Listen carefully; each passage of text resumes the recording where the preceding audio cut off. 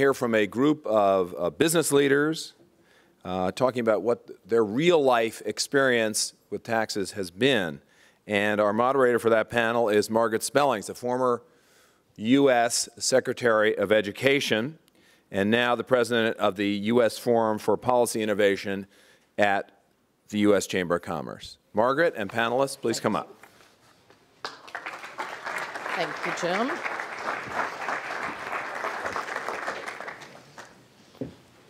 Thank you, Jim. Hey, Bruce. Good to see you. Good to see you. All right, I love all this all education all the time too. That's so fun, and, and also a great time to be a Texas braggadocio. So uh, it's thrilling to be in Illinois. Uh, thank you all for being here. Uh, special commendation to my friends Mark Langdale and Jim Glassman for uh, for putting this panel together. We at the Chamber are very proud and pleased to be co-sponsors. Uh, I actually am wearing two hats. I'm also a, a newly minted board member of the Bush Foundation and and I'm just getting to, uh, more familiar with some of the other work in addition to education, the global health, the, the uh, human freedom, and the various things. And so thank you for all the great work you do. Um, because I, am going to take a tiny personal privilege and make my own commentary on the Chicago uh, strike since it's such a topical thing today. And uh, one of the silver linings, I think, is that we're seeing pretty much in, in stark relief this kids versus adults uh, kind of tension playing out, and people uh, can, can see it for themselves. It's pretty raw, uh, the needs of adults and their issues, inequities, and comforts and such. Uh, versus the, the quality of education here, uh, here in the city, which of course is so integral to your, to your growth strategy in its own right. So more to be said about that, obviously. whoever said about the accountability issues, that's the next gambit. Stay tuned. Uh, the next issue is let's bury the data. We're not going to have charter schools and choice because we're going to get rid of the, the bad news that tells us uh, really how, how uh, woefully inadequate our public schools are. There's lots of waivers coming out of Washington around those themes. So uh, anyway, don't get me started. Um, we are now here today uh, to talk about how the rubber meets the road. You've heard from uh, brainiac academics uh, who uh, talk to the legislature about policy and so forth. And now we're going to have the, a real treat to hear about what does this stuff mean uh, in reality? What does it mean to real life business people? And so I'm going to get started, uh, not particularly in the order that you all are seated, gentlemen. This is a treat to be with such a, an august group of successful businessmen.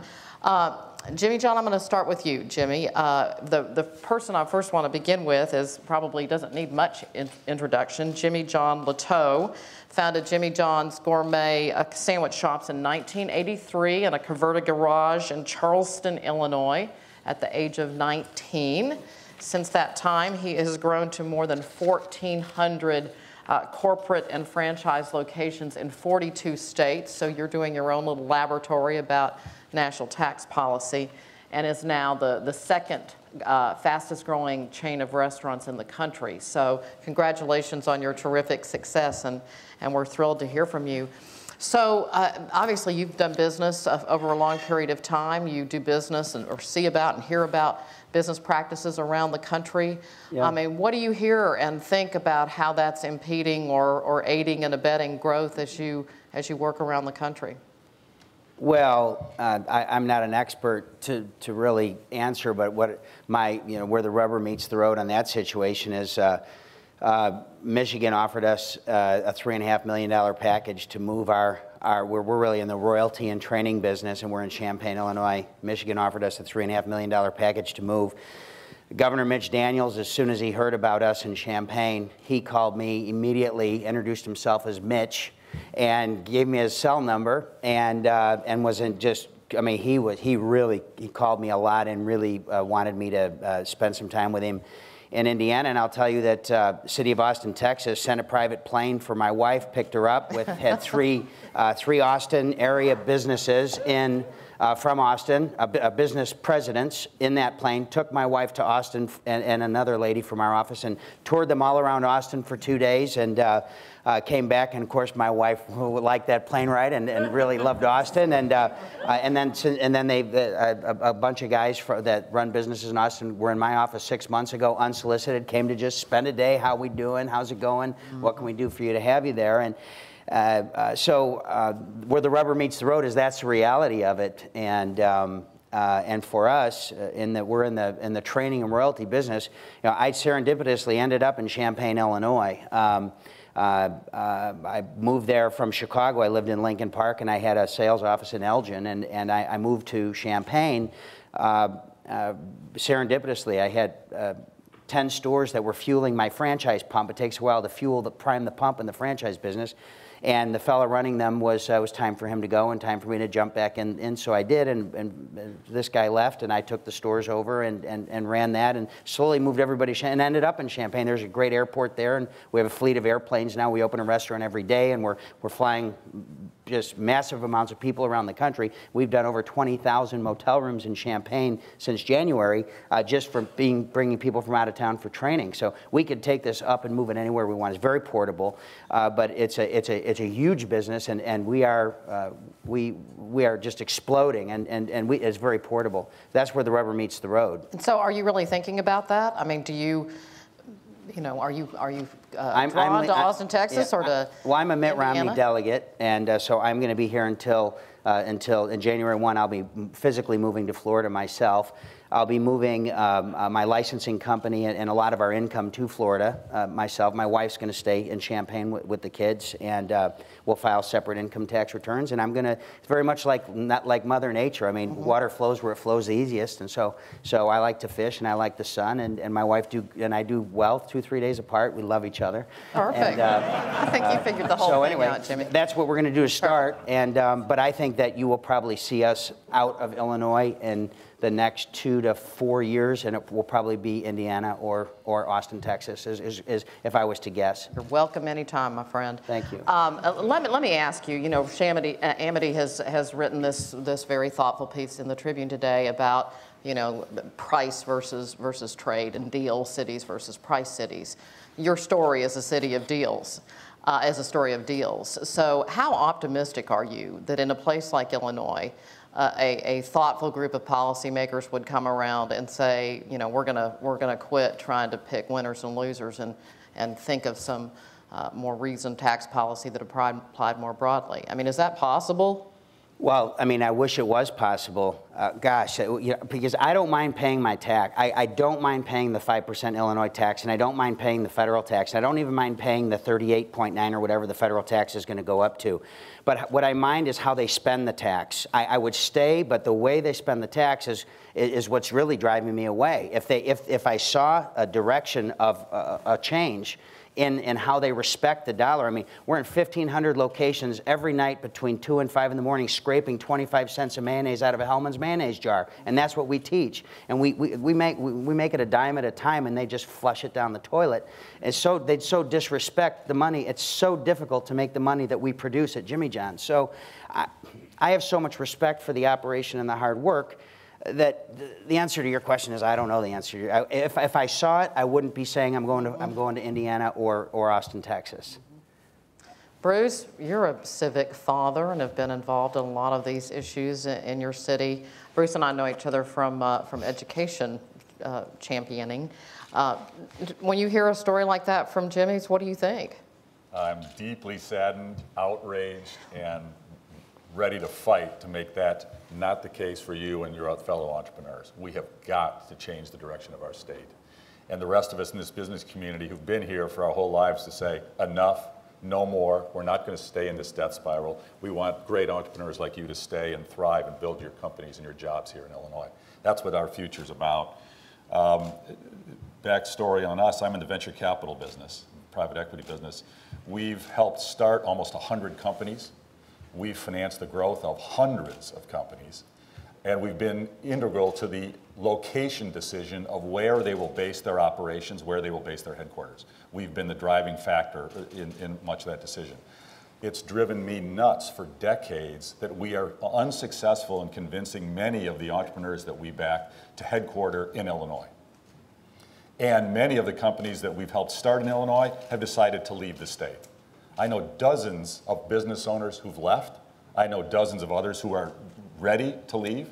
I know many successful business executives who are born and raised here, and they're changing their residency.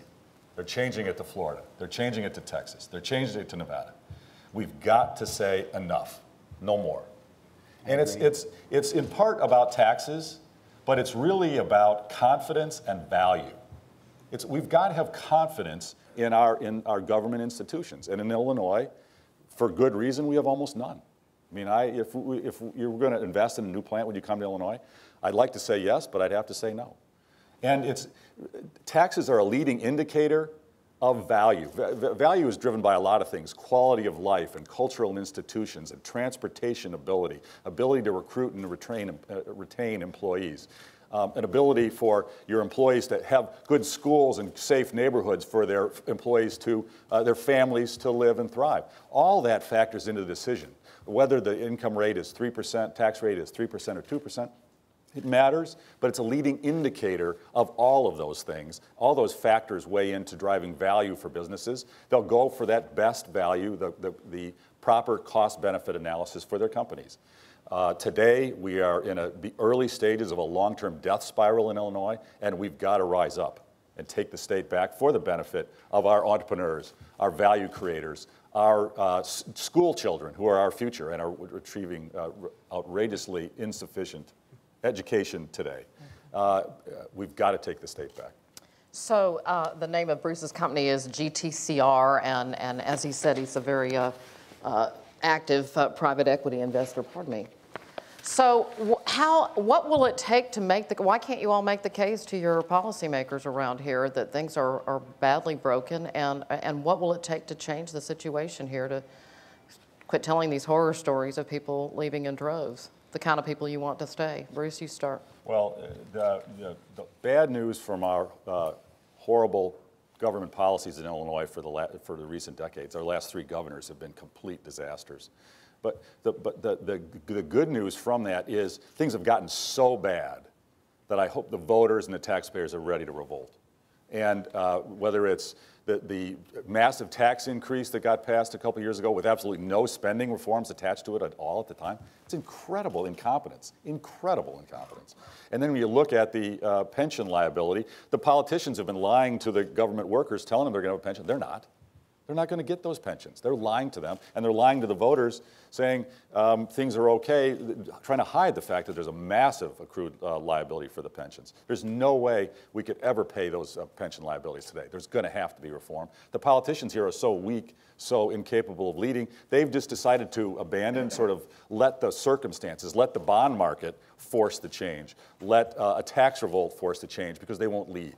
We have got to replace them with leaders. I, the good news is I think there are so many people now upset with the tax hike that, and, and no spending reforms um, and the, the teachers walking out and, and claiming, uh, playing the blame for the bad schools on the taxpayers or on the poverty of the children rather than the incompetence of the teachers. People are going to get so outraged by this, they're going to begin to take the state back. I, I hope and believe we're in the early stages of a revolution here.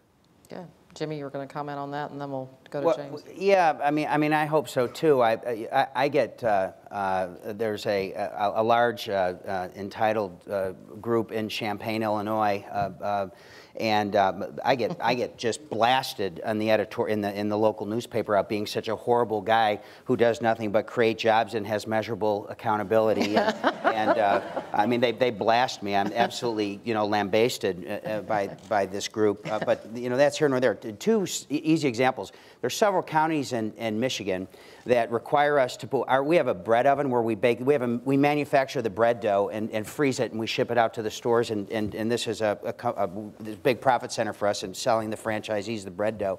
And we have an electric oven that's a no emissions bread oven.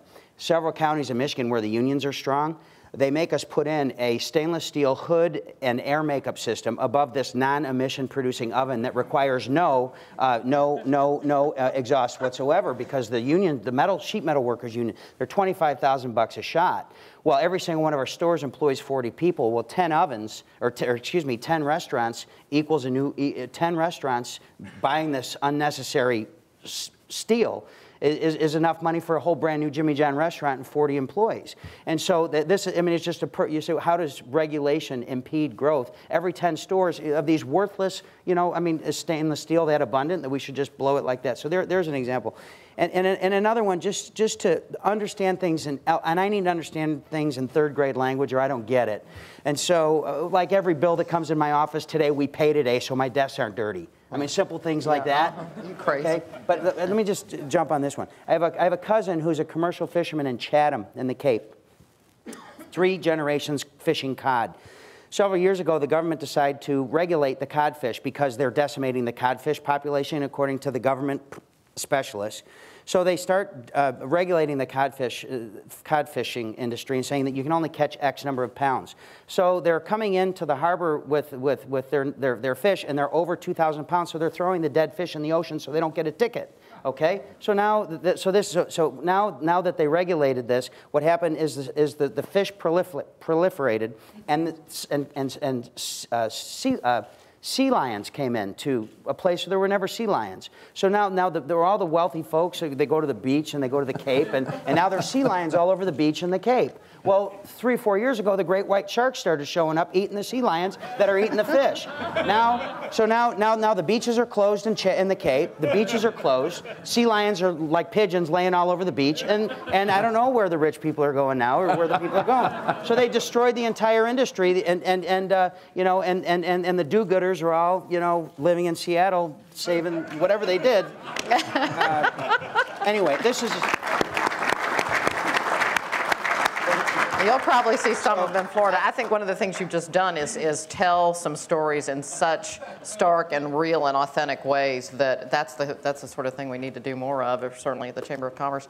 James, uh, so you are the alter ego to, to Jimmy, I suspect, uh, from New Zealand. James is the, I want to get your title right, uh, it started as an assistant manager and, and uh, worked his way up to a general manager and is now the COO and company president of Jimmy John's. So talk about what you see as you run this company and as you see and in, interact with, with business people around this country, franchisees, uh, and, and, what their decision-making process is like. Well, uh, it's really exciting being from New Zealand. Uh, I came from a country with 3 million people and limited opportunity. And here you come to the United States with over 300 million people and, and I saw a vision in Jimmy that we could build a business, that we could build that. And we started doing that a long, long time ago. Jimmy's been doing it for 30 years. And we have now 1,400 stores. And if you take Illinois, for example, we have in, in Chicago, we have 188 uh, stores in the Chicago DMA with 75 franchisees. Our largest competitor is Subway, who has over 800 stores in Illinois. And our 75 franchisees, they're really excited. They want to keep growing, they want to grow more, and they want to open up more stores.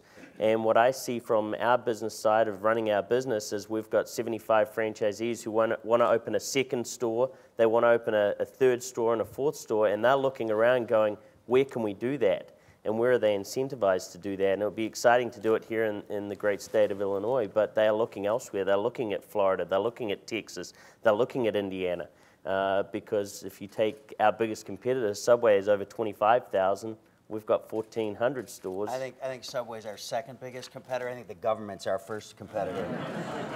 Go ahead, James. I'm and, sorry. And, uh, uh, and so that, I think, is a big challenge for our franchisees. It's really exciting either way. We've got this great growth in our company and we've got a great opportunity.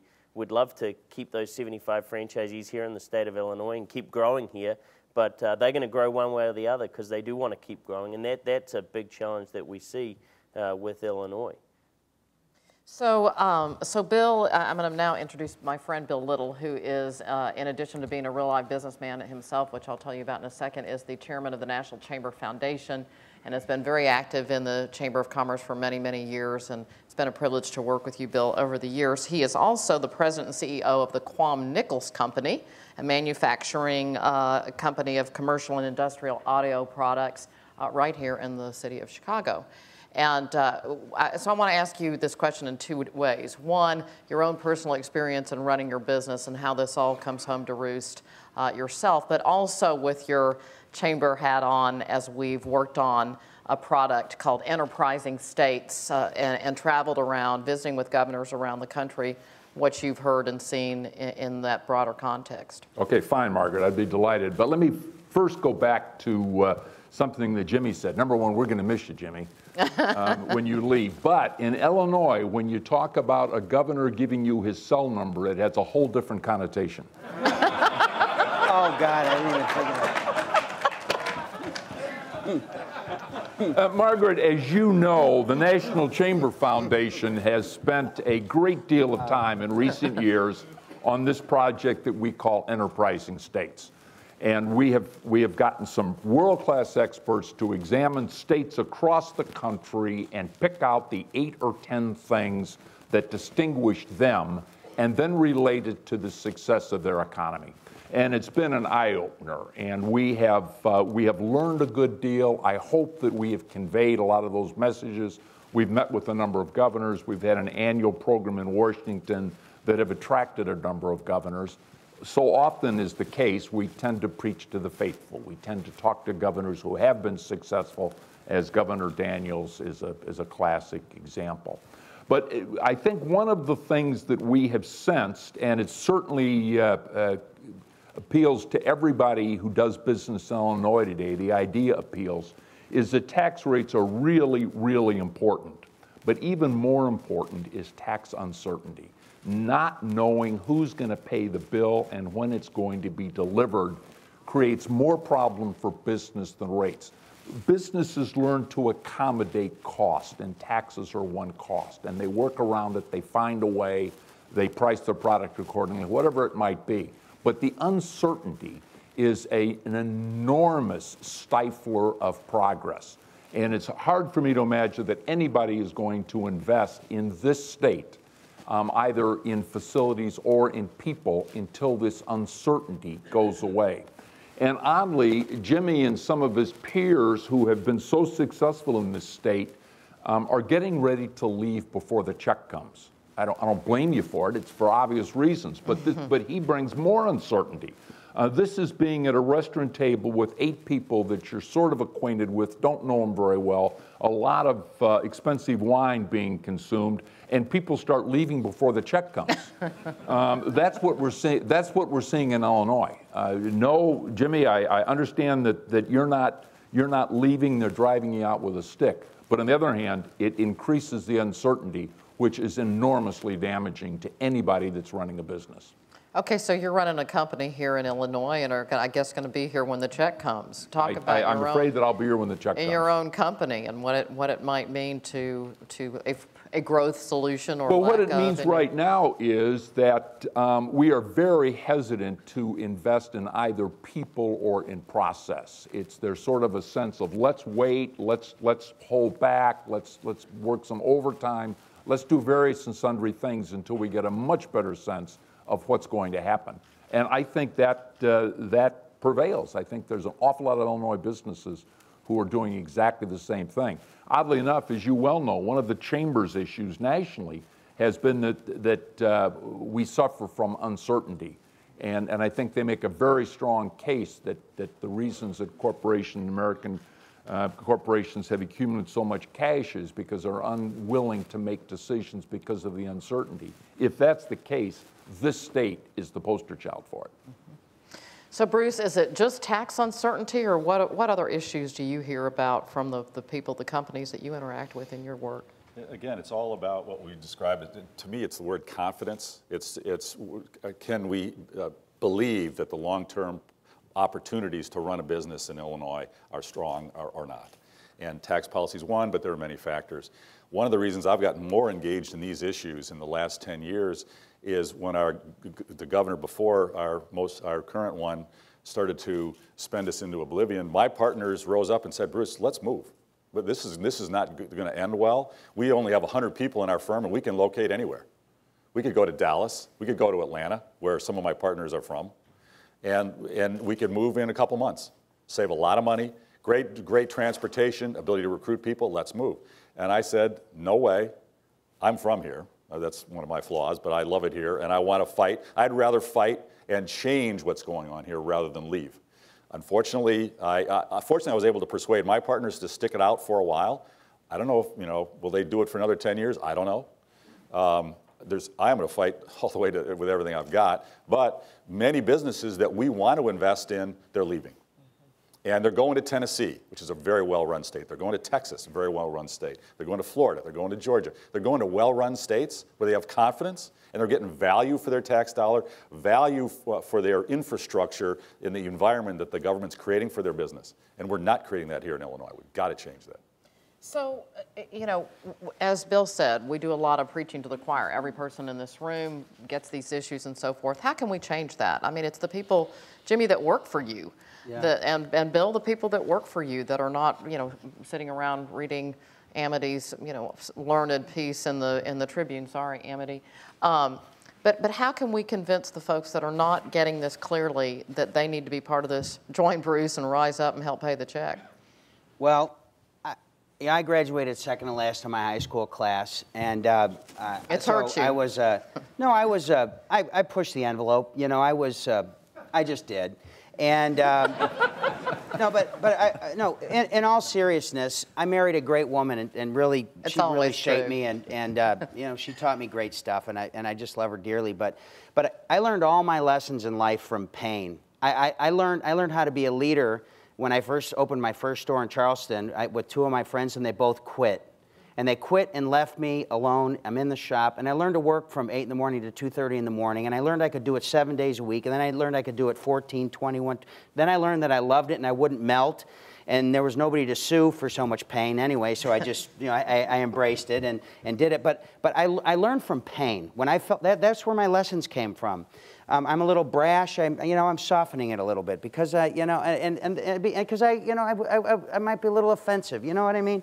So the, lessons I've learned in life, I've learned from getting smacked in the head and feeling pain. We in the free market have felt the pain and we've adjusted our lifestyles and adjusted ourselves to, to we, I haven't risen prices at Jimmy John's in about six years I've had the same price. I've absorbed 10 points in, uh, uh, in, in, in, in, in, profit um, uh, over, the, over the, that time period. We collect more in sales tax from our stores in Champaign than we make in income from our six stores in Champaign. We collect more for the state and sit in sales tax and send it off to them. They do nothing, you know.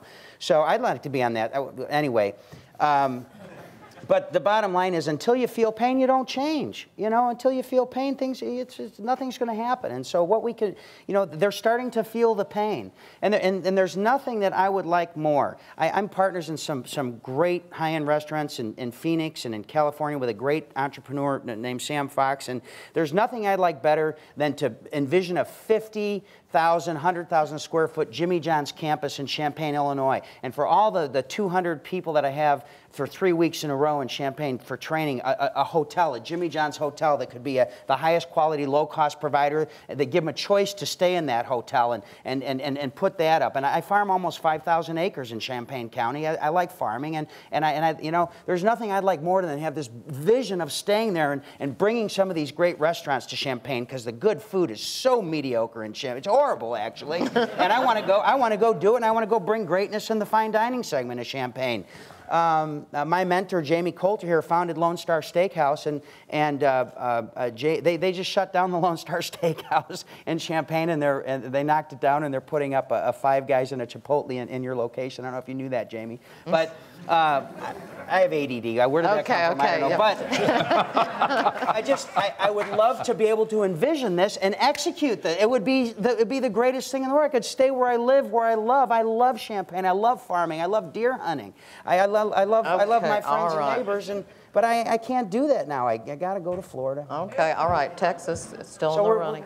Okay, Bruce, uh, let, let's talk about, you know, building, before we go to, to questions from, from the audience, you know, building a political constituency for change. And what is it going to take to make people mad enough, smack them in the head, to use your artful phrase, um, to, to get policymakers to respond? I mean, what specifically can we and should we do? Well, the good news is I think many uh, of the leaders of the business community are beginning to get active and to begin to form coalitions and to speak out. The business community, frankly, has been held hostage a little bit in Illinois for quite a while. I, they suffer in what uh, I don't know from uh, what I like to call the Stockholm syndrome. They've been held hostage for so long that they sort of start to get the mindset of their captors, and we've got to break out of that mindset. Um, it's beginning, and I think this tax, uh, massive tax hike with no spending reforms and the clear bomb that's about to go off in our pension system are two, two of the instigating factors for that. Uh, from there, it's going to take a lot of ground game building. So, that, you know, and it's going to take various constituents who just want freedom and more limited government. And whether it's Tea Party factions, whether it's the Republican Party base, whether it's um, business, small business owners who just see the crush, as Jimmy does, of government and better alternatives elsewhere, it's going to take these folks all coming together. The good news is um, the education reform uh, movement is coming to join the whole effort. They see this as all intertwined, low quality, high cost government that's ineffective is, is uh, bear, uh, just crushing the future of our children. And the reform community is uniting with the business community on these points. That's the great news. And uh, John Tillman raises, I think, a very important issue as well. In, in Illinois, there's been a long time history of what I would call social service, social justice, a, a bigger role for government in, in, in, in a safety net than in many other states. We could all argue good or bad about that, but that is true. And what's, what's interesting, I think there's a, there's a wedge issue here that John touched on that I want to emphasize. We cannot afford, we will crush our economy if we try to spend money on both high cost, inefficient, bureaucratic, heavily unionized government and a social safety net to help the disadvantaged, the weak, and the poor, which many of us would like to be able to do. We can't afford both. We will crush the economy. All the wealth creators like Jimmy will leave, and we'll be done. We have to make a choice. I think we can drive a wedge issue on, uh, in the Democratic Party on that topic and bring the folks who say, you know what, for our tax dollars, I'd rather help, help the disadvantaged, the handicapped, the, the, um, the elderly, the, the, the children in poverty. I'd rather have my tax dollars going to that than um, the SEIU or AFSCME, who are uh, out there for their own interests. And they're, they're, they're, they're crushing, they're, they're, they're, it's their pensions, it's their pay, it's their outrageous health care costs. And, and what doesn't get much play is their work rules. I don't know, uh, you know, another topic that is yet to really get it, their restrictions on who can work in government, what their background has to be. How, we can't hire good people into government because they have to have worked their way up in the AFSCME system. It's, it's preposterous. The, the whole structure of union control of our government has got to change. And there, the good news is I think there are a lot of interest groups coming together to help drive that change. Okay, questions for our panels. Tell us who you are and who your question is directed to, or if it's directed to anyone. Where's the microphone? Up here. This man right there. Uh, Jimmy, do you have approximately 50, 60,000 employees? Correct. And uh, the philosophy of, of your business is low-cost producer, lots of value to the customer, a business that can grow. Is that right? Yes. What percent of those employees do you think just the philosophy that you've exposed them to will turn out to be conservative Americans? 59,000 because the other 1,000 haven't heard yet.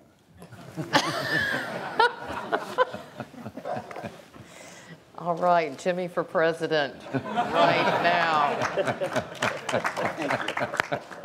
Okay, other questions, comments? Yes, up here in the, with the blue blouse. How about another wedge issue, which is the good teachers shouldn't be supporting this strike because those 40% of the kids who don't graduate are going to cost welfare and jails. They're not going to be paying for their pensions. Uh, that, uh, outstanding point. I strongly agree. We, a critical issue, we have to separate the union from the teachers. They're not the same thing. The union basically is elected politicians elected to do certain things, get more pay, more uh, benefits, less work hours, more job security. That's, that's, what, that's what they paid to do. They're not about the students. They're not about results. They're not about the taxpayers. It- it- that's irrelevant to the union bosses. We have to be crystal clear on that. Most teachers care deeply about their students. Most teachers work hard, or highly effective. Trouble is, the union blocks them from being known. The union wants every teacher treated the same. They want no teacher differentiated, no teacher based, paid differently based upon the quality of their work. So if you're a highly talented professional, why do you want to go into that union system? Or if you're in it, you're stuck there and your voice isn't heard. We've got to break, break apart on exactly that issue. Break the union bosses away from the really talented teachers. That's doable. It's not, not easy, but that's doable and critical to improving the, the schools long term. So what's your prediction about what, how this story ends here? Well, if the story is the strike, uh, it doesn't end well. Uh, I think we've, we've given in on a fair number of critical issues. Will they get a deal today? Unclear. I, I'm betting they probably will, um, but uh, unknown. But th- th- this is, this is one battle in a very long-term fight. And uh, we, whether, wherever we come out on it, the, the good news, long-term, the taxpayers are frustrated in this city and they're beginning to, to push back. And very importantly, the parents are awakening to the issues in, in the city. And I think we're going to have a multi-year revolution. It'll build. I think this strike, frankly, the good news from the strike is I think we're going to have a coalescing of interest and some focus and drive some major change. And there are some plans in the works, some charter community innovations, education inno- innovators who are now focusing on Chicago. And I think in the coming years, we can, we can be, begin a major transformation.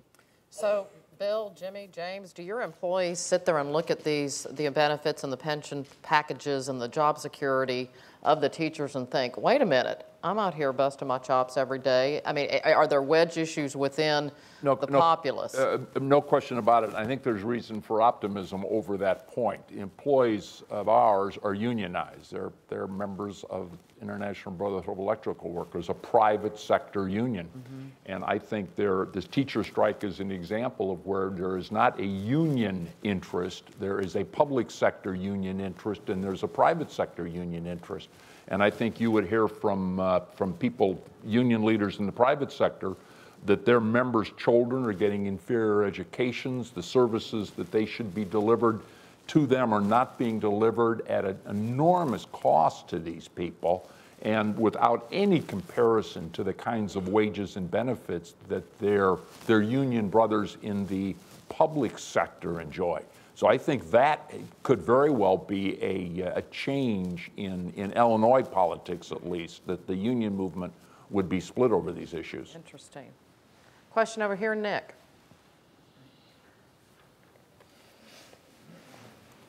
Hi, I'm Nick Schulz with AEI and uh, NCF. Thanks for a terrific panel.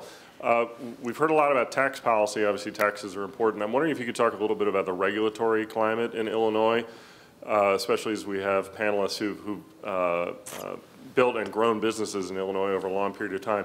Has it changed? Uh, And how, uh, how does the regulatory climate influence decisions about allocating capital, about expanding, and and so on and so forth? So, Bill, we'll start with you and work our way back. Well, this is a touchy one. I, I don't want 14 inspectors from 15 different uh, bureaus uh, at my office door in the morning. Um, let me, let me, Nick, let me turn the question around a little bit. And, and uh, one of the, Chicago has been a good place to do business, has been a really good place to do business over the years because the administrations in the past have been pro-business. And in times past, when there was a regulatory issue, a, a, uh, a question about whether our employees were parking in a place that was appropriate after they'd done it for 30 years, you could call the mayor's office and you could get a resolution. You knew you could get a resolution, and you knew that, that a regulator was not going to run amok. Um, but I think as time goes by, you have less confidence that you have that out, that you have the ability to seek the, uh, uh, the support of the, of the city administration. Um, so the regulatory thing is, is problematic. Uh, there, are, there are people who are um, tasked with regulating us that, that show up at our door. We've never heard of them. We have no idea what it is they're looking for. Um, we have no idea how to respond to them. Um, and, and Jimmy knows this better with, with your number of locations. It, it can be a real distraction. You, you've got a plan for the week, you're going to get these things done, and some guy shows up and says, I'm here to look at this. James, Jimmy?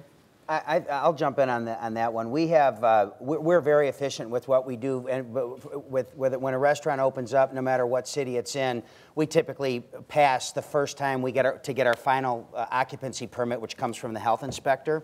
And we typically pass the first time, but in general, it takes three or four times to pass. And they like to put that in their schedule. They get a car ride, they get a smoke, they get to come into your, up into your place and tell you where, well, we're so proactive that we pass the first time. And what we find in different communities, they're just not ready for you to be so absolutely 100% ready to go. I mean, we're ready to get the permit and turn the lights on and sell sandwiches, you know, as they're walking out the door.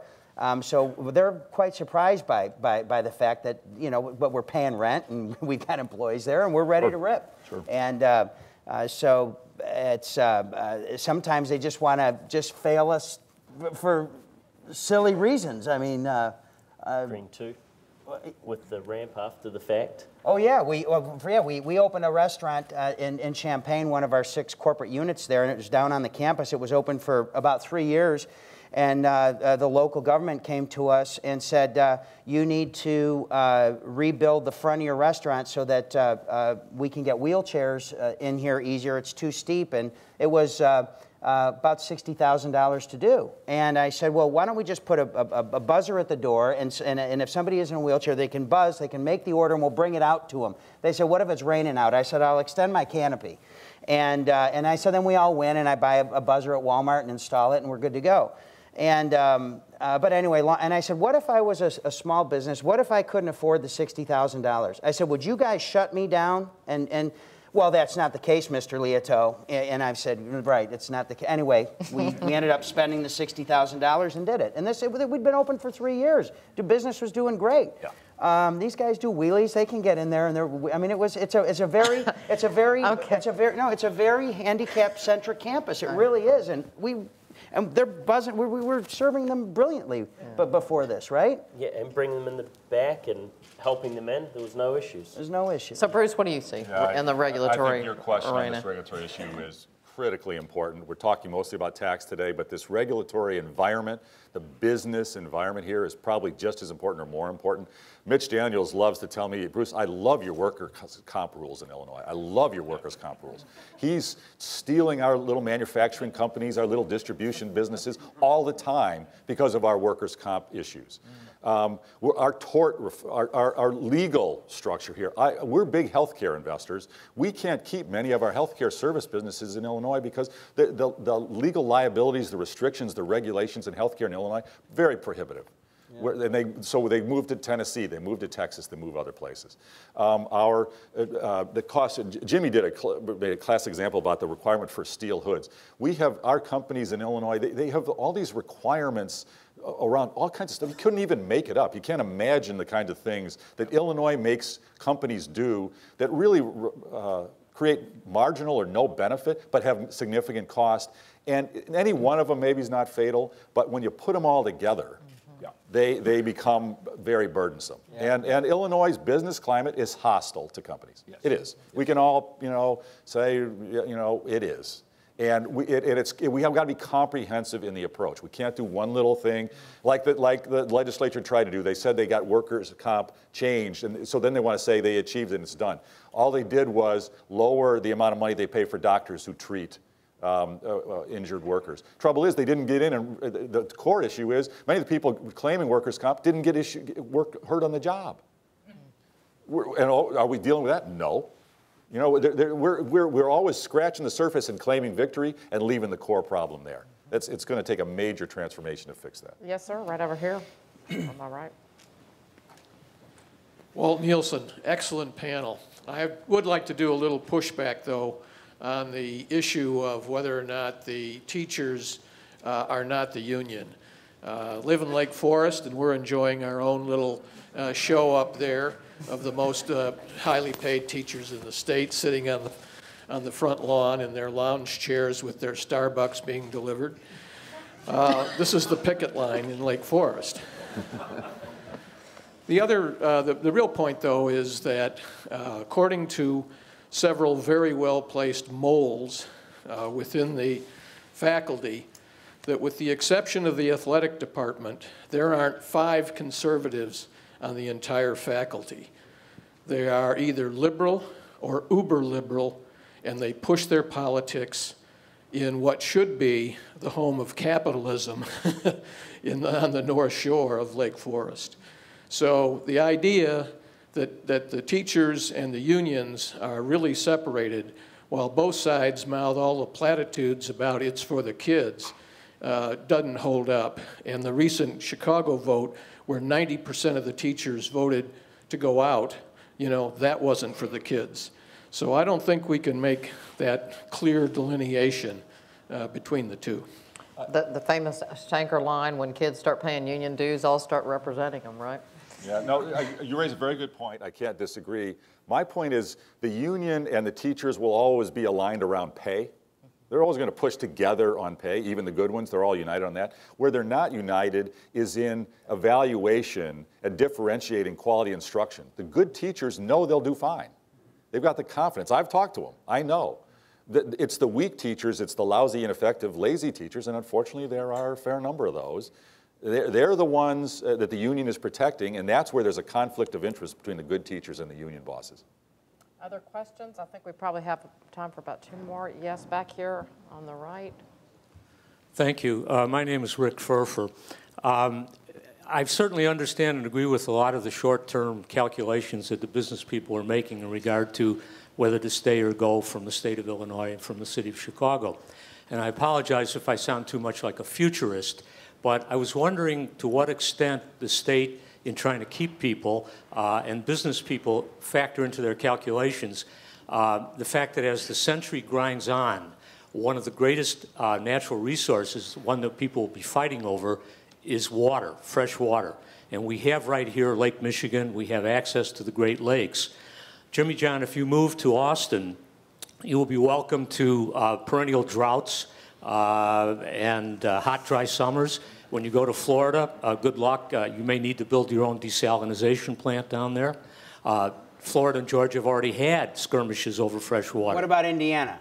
Uh, Relative to the other states around the Great Lakes, it's not an issue. We're all in a compact together as it is. And I believe our lobbyists that that represent the compact have already been battling against a pipeline that the states in the Southwest want built so they can start siphoning uh, our fresh water down to that part of the country.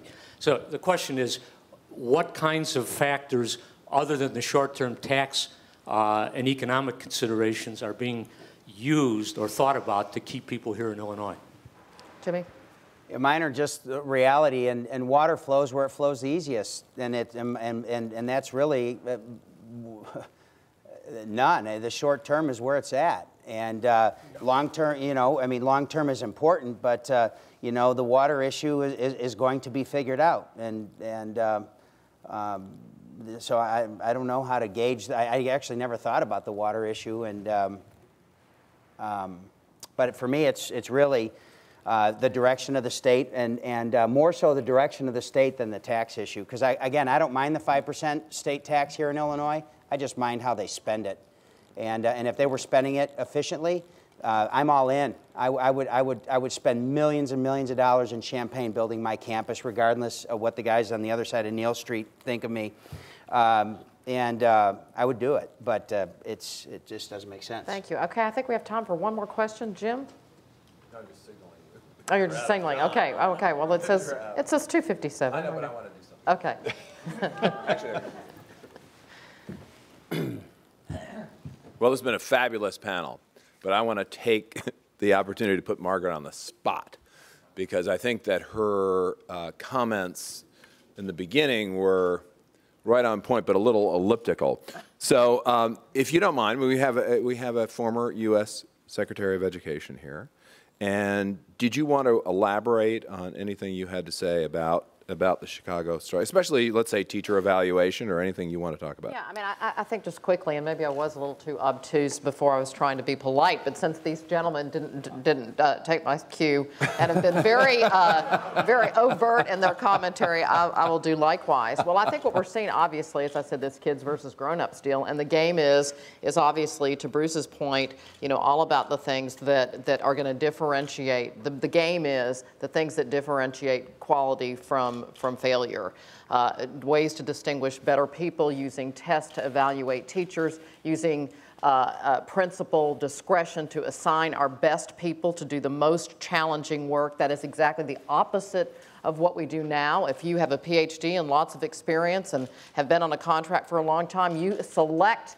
that you're going to do the easiest uh, work in the system, and then we're surprised when we get uh, terrible results with bad teachers and failing schools. So this is the sort of thing that has to be busted open, and it is not going to be busted open uh, if we walk back from accountability, from transparency, from assessment, from from kind of the no child left behind type principles that said, you know, damn it, change or do something about it. And we're seeing those things walked back in state legislatures. The administration is giving out a lot of waivers to states, you know, watch the birdie sort of stuff. Um, and, and that's where I think the business community, once again, and the civil rights community have to be really paying attention in this renewed era of local control where you've got the ball and, um, you know, your parents are counting on you. Thank you. And um, yeah, I, should, I should also say that at the Bush Institute, we're all about accountability. Our, our, our leader has taught us that, uh, that teachers and administrators need to be accountable to students and their, and their families. And I, and I think in this panel, one of the things that, that Jimmy John said that's just so, I thought was so powerful was, and he said it again, that he, he doesn't mind paying the tax. What he minds is what the money is being spent for. Mm. And, um, you know, I think those are, I think those, that, that's a very good way to, to say it because we, we are lacking in accountability. Anyway, I want to thank this panel, which was just terrific. And um, tell you that uh, we're going to take a 15 minute break. We're going to come back, and I'm going to have the pleasure of, uh, of doing a short, a short discussion with David Booth from Dimensional Fund Advisors. Uh, then we're going to go on to our, our, our, third panel, which is also a great panel with Dan Proft and uh, Ike Brannon and um, Brian Wesbury of the, the Bush Institute and uh, John Cochrane and Congressman Aaron Schock. So, take a break.